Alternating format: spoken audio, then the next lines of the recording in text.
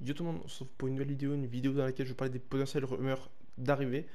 Voilà, il y a trois joueurs, Gisela Conan, Eric Bailly et Dan Axel Zagadou. On va en parler dans quelques instants. Juste avant, il y a une vidéo, les gars, pour ceux qui n'ont pas vu, rumeurs de départ et aussi les, les indésirables à faire partir du club. Voilà, n'hésitez pas à les checker pour ceux qui n'ont pas vu. Avant ça, n'hésitez pas à vous abonner, à liker, à partager, à commenter. Vraiment, n'hésitez pas à vous abonner, les gars, c'est vraiment très très important. C'est gratuit. Et aussi, n'hésitez pas à mettre la cloche de notification pour être au courant des dernières vidéos.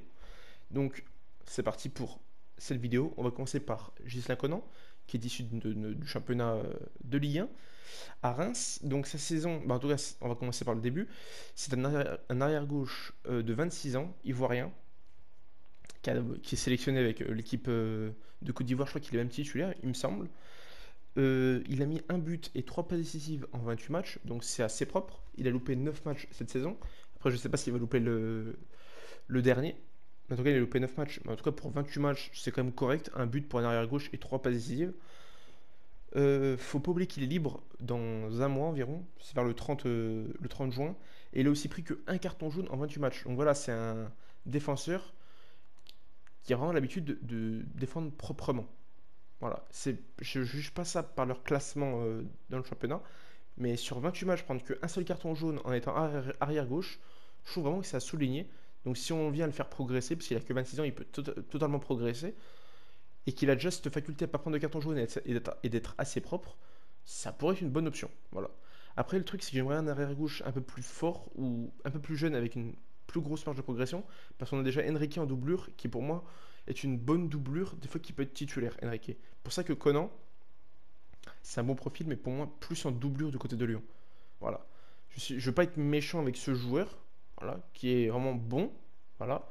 Mais j'aimerais un joueur quand même un peu plus fort, voilà. Même si on n'a pas de Coupe d'Europe, ça ne nous empêche pas d'avoir euh, des ambitions et de prendre un joueur vraiment peut-être un meilleur standing et voilà de le faire progresser une année, lui montrer un bon projet sportif pour l'année prochaine, qu'on arrive à accrocher le podium, en tout cas je l'espère, que ce soit avec Peter Bosch ou pas, et voilà que qu'on prenne un arrière gauche pour au moins 2-3 ans et qu'il reste à Lyon avant peut-être de partir ou voilà je vais pas, je vais, clôturer cette page. Mais en tout cas, euh, voilà, Gislain Conan, c'est une bonne affaire, mais pour moi, j'aimerais un autre arrière gauche. Ensuite, pour, Eric Bailly, nouvel international euh, ivoirien quand il n'est pas blessé, parce que voilà, Eric Bailly, depuis qu'il a signé à United, c'est beaucoup de blessures surtout. Donc, cette saison, en tout cas, c'est un défenseur central, ivoirien de 28 ans. Voilà. Ça fait, je crois que 5 ans qu'il est au club de United, et voilà, c'est pas une satisfaction. Pour moi, c'est peut-être un des plus gros flops, parce qu'ils l'ont acheté euh, presque 40 millions d'euros, un petit peu moins c'est vraiment un flop, mais total, un total flop, qu'on a essayé de relancer déjà il y a un ou deux ans, si vous vous souvenez, les supporters lyonnais. Il me semble qu'on l'avait déjà essayé de le repérer, et on a bien fait de ne pas le prendre, hein, parce que voilà ce qui fait une étude, honnêtement, qu'on se pose sur un autre cas. Je, je préviens direct. J'ai même pas fini un peu sa, sa, sa son, les informations sur lui, mais je vais terminer. Mais en tout cas, pour moi, c'est directement non. Voilà. J'ai rien contre lui. Hein. Tout le temps blessé, euh, acheter un prêt exorbitant, alors qu'il est vraiment très très moyen je préfère pas le prendre. Aussi, il a fait que 4 matchs cette saison. voilà. Et il a pris un carton jaune, donc voilà. Contrairement à Gislain Conan qui a fait en 28 matchs un carton jaune, lui en 4 matchs seulement, avec très très peu de temps de jeu, il a déjà réussi à prendre un carton jaune. Voilà. Donc pour moi, c'est un grand nom, comme je vous l'ai dit juste avant.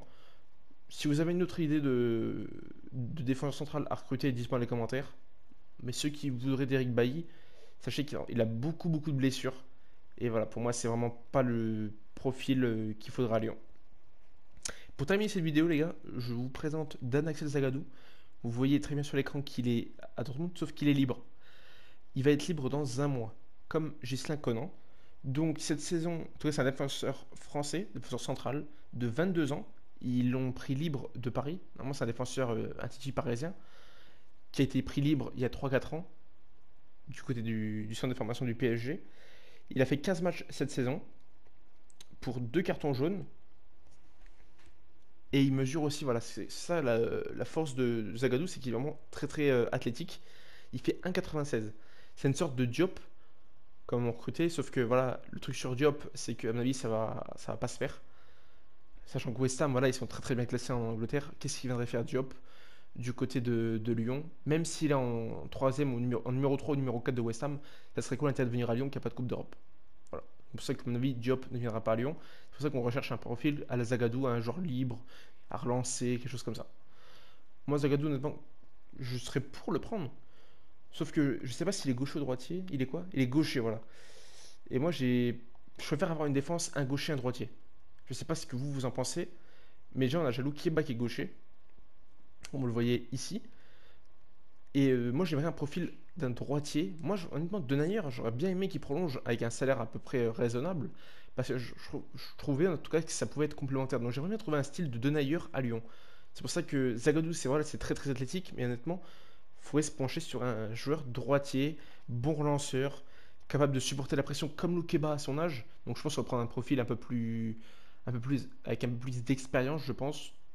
À mon avis, c'est ça que la, cellule de recrutement va, essayer de, trouver.